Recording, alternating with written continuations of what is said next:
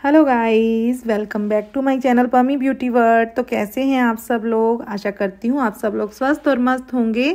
Guys आज की video में मैं आपके साथ शेयर करने जा रही हूँ नोज़ हेयर कटिंग का प्रोसीजर और साथ में हम शेयर करेंगे अपर लिप्स वैक्सिंग किस तरीके से करते हैं। गाइज़ इनकी नोज़ में ज़्यादा हेयर्स नहीं है, पर कुछ हेयर्स ऐसे हैं जो बाहर की साइड विजिबल होते हैं, इसलिए इन्होंने नोज़ हेयर कटिंग करवाई है। और गाइस अगर आप मेरे चैनल पर फ़र्स्ट टाइम विज़िट कर रहे हैं तो आपको नोज़ हेयर कटिंग से रिलेटेड नोज़ हेयर वैक्सिंग से रिलेटेड एंड नोज़ मसाज से रिलेटेड काफ़ी सारी वीडियोस मिल जाएँगी। और मैंने अदर टॉपिक से रिलेटेड भी अपने चैनल पर वीडियोस अपलोड कर रखी हैं।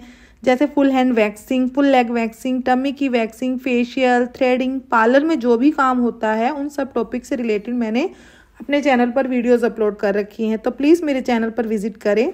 और गाइज़ अगर आपको मेरे चैनल की video useful interesting and knowledgeful लगे तो वीडियो को लाइक करें शेयर करें, साथ में चैनल को सब्सक्राइब भी कर दें एंड बेल आइकन को ज़रूर प्रेस करें ताकि आने वाली लेटेस्ट वीडियो की नोटिफिकेशन आपको टाइम टू टाइम मिलती रहे। गाइज़ नोज़ हेयर आपके अगर ज़्यादा हैं, यानी अगर आपके नोज़ में काफ़ी सारे हेयर्स हैं और आप उन्हें रिमूव करवाना चाहते हैं तो नोज़ हेयर कटिंग से प्रॉपर तरीके से हेयर रिमूव नहीं होते, केवल हल्के फुल्के कट जाते हैं, जिससे नोज़ क्लीन लगने लगती है। पर अगर आपको लग रहा है कि नोज़ में काफ़ी सारे हेयर्स हैं तो ऐसे में आपको नोज़ हेयर वैक्सिंग करवानी पड़ेगी। पर अगर कम हेयर्स हैं, आपको लग रहा है कि ज़रूरत नहीं है तो ऐसे में आप नोज़ हेयर कटिंग करवा लें। कटिंग करवाते समय आपने नोज़ को अच्छे से होल्ड करना है और सीज़र का यूज़ करते हुए हेयर कट करने हैं, जैसा कि आपको वीडियो में दिखाया गया है। गाइज़ आपने इस बात का ध्यान देना है कि प्रॉपर तरीके से आपने किसी टॉर्च को जला लेना है, यानी फ़ोन की टॉर्च को ऑन कर लें, ताकि आपको हेयर प्रॉपर तरीके से विजिबल हो और आप अच्छे तरीके से हेयर कट कर पाएँ। अगर आप बिना रोशनी के अच्छे तरीके से हेयर कट करने की सोचेंगे तो नहीं हो पाएँगे।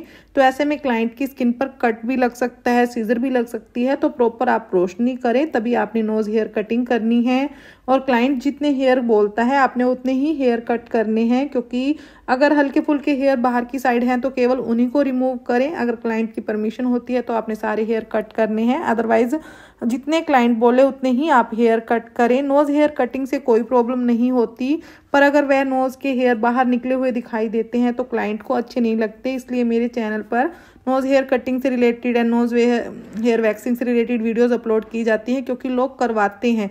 अगर कोई करवाता है तभी वीडियोस अपलोड की जाती हैं और गाइस मेरे चैनल पर काफ़ी सारे सब्सक्राइबर्स भी इस टॉपिक से रिलेटेड वीडियो देखते हैं तो इसलिए स्पेशली मैं इस वीडियो को शूट भी कर लेती हूँ। अब हम शेयर करने जा रहे हैं अपर लिप्स वैक्सिंग का प्रोसीजर देखिए कितने सारे हेयर्स हैं मेरे क्लाइंट के अपर लिप्स पर। और इन्होंने नोज़ हेयर कटिंग तो इस बार करवाई थी, पर ये अपर लिप्स वैक्सिंग की वीडियो इनके लास्ट टाइम की है तो हमने इसको बीच में ऐड ऑन कर दिया ताकि टू टॉपिक से रिलेटेड वीडियो बन जाए। तो देखिए कितने सारे हेयर्स हैं वैक्स मैंने जो यूज़ की है वह भी बताऊँगी। अपर लिप्स वैक्सिंग करते समय आपने किन किन बातों का ध्यान रखना है, यह भी शेयर किया जाएगा। गाइस वैक्स मैंने यूज़ की है रीका की वाइट चॉकलेट वैक्स सभी पार्लर में मोस्टली इसी वैक्स का यूज़ करते हैं। यह वैक्स जो होती है काफ़ी हार्ड होती है, सारे के सारे हेयर्स रिमूव कर देती है तो इसलिए इस वैक्स का यूज़ करते समय आपने ध्यान देना है कि आपने पहले प्री वैक्सिंग जेल लगाना है, जो कि मैंने पहले ही लगा दिया था और अब मैं कट कर रही हूँ स्ट्रिप्स को। रिका की ही वैक्सिंग स्ट्रिप यूज़ की है मैंने, क्योंकि जब हम फेस पर वैक्स करते हैं, अगर हम ऐसी स्ट्रिप का यूज़ करते हैं तो प्रॉपर तरीके से सारे के सारे हेयर्स बिल्कुल ईजिली रिमूव हो जाते हैं, क्योंकि इस स्ट्रिप्स के अंदर छेद नहीं होते। तो ऐसे में क्या होता है, छोटे से छोटा बेबी हेयर जो होता है, वह भी बहुत ईजिली रिमूव हो जाता है।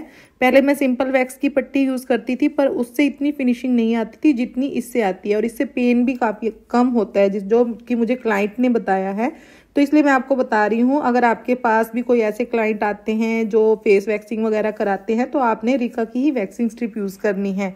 वैक्स केवल वहीं लगाएँ जहाँ पर नीड है, ज़्यादा में लगाने की ज़रूरत नहीं है, उसी पोर्शन पर लगाएँ जहाँ तक हेयर्स हैं। फिर वैक्सिंग स्ट्रिप लगाई है एंड स्किन को होल्ड करते हुए अपोजिट डायरेक्शन में वैक्सिंग स्ट्रिप को पुल कर देना है। क्लाइंट को भी थोड़ी सी स्किन टाइट करने के लिए बोलना है। देखिए कितने ईजी तरीके से इनके सारे के सारे हेयर्स रिमूव हो चुके हैं। और गाइस मेरे क्लाइंट के हेयर्स काफ़ी हार्ड थे, जो कि बहुत ईजिली रिमूव हो गए। अगर किसी के काफ़ी सॉफ्ट हेयर्स हैं तो अगर सेंसिटिव स्किन है तो आप रिका की ग्रीन एप्पल वैक्स का यूज़ करें।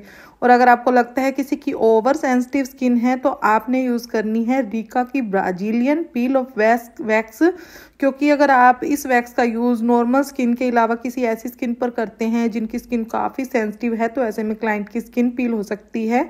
पर मेरे क्लाइंट की स्किन नॉर्मल है, इसलिए मैंने इस वैक्स का यूज़ किया है, पर इस वैक्स का यूज़ करते समय आपने ध्यान देना है।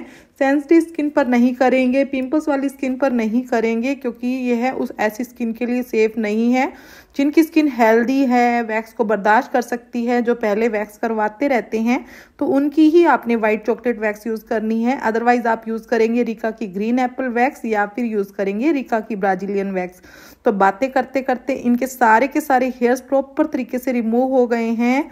जब भी आप रिका वैक्स का यूज़ करें तो आपने रिका वैक्स पर कभी भी पानी का यूज़ नहीं करना। आफ्टर यूज़ में आपने यूज़ करना है कोकोनट ऑयल का और बहुत अच्छे तरीके से मसाज दे देनी है। गाइज़ रिका वैक्स को यूज़ करने से हमारी स्किन के अनवांटेड हेयर्स तो रिमूव होते ही हैं। स्किन की टैनिंग बहुत अच्छे तरीके से रिमूव हो जाती है। स्किन के डेड सेल्स बहुत अच्छे तरीके से रिमूव हो जाते हैं। और जो हेयर आते हैं, काफ़ी सॉफ्ट एंड स्मूद आते हैं, काफ़ी लेट आते हैं तो बहुत सारे बेनिफिट हैं रिका वैक्स के। अगर आप किसी अच्छी वैक्स के बारे में सोच रहे हैं तो रिका वैक्स का यूज़ करें। थैंक्स फॉर वॉचिंग तो मिलते हैं आपसे नेक्स्ट वीडियो में। Okay take care bye bye